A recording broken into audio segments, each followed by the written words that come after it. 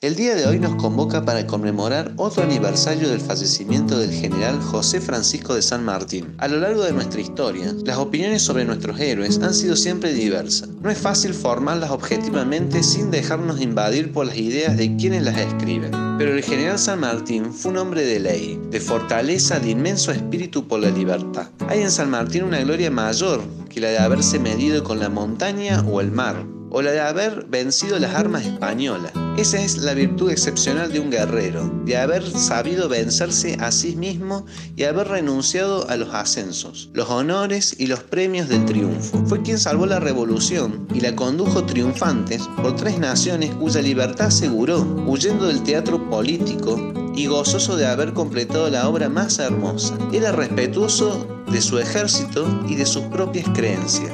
Supo sobreponerse a la adversidad cuando se eclipsó su estrella, coronando su vida en el más caritativo silencio de los más puros maestros. Necesitó perdonar injurias y supo hacerlo por amor a América.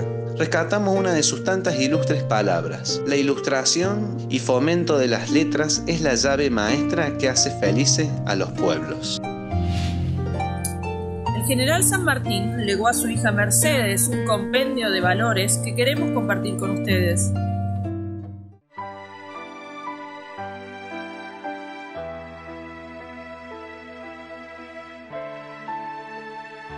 humanizar el carácter y hacerlo sensible aún con los insectos que nos perjudican. Inspirarle amor a la verdad y odio a la mentira. Inspirarle una gran confianza y amistad, pero unida al respeto. Estimular en Mercedes la caridad con los pobres.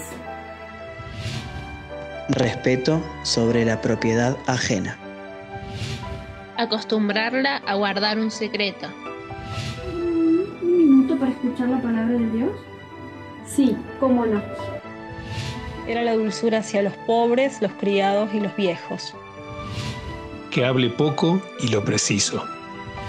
Acostúmbrate a estar formal en la mesa. Amor al aseo y desprecio al lujo. Si tuviera que pensar una máxima para desearles a todos, es revalorizar el conocimiento, poner en valor la educación para encontrar la sabiduría. El mundo que tenemos necesita gente sabia. Nunca dejes de perseguir tus sueños. Bueno, la máxima que yo les regalo es que puedan defender siempre con orgullo sus ideales, siempre y cuando esos ideales y convicciones tiendan a un bienestar común y que puedan encontrar todos los días en las pequeñas cosas motivos suficientes para ser feliz.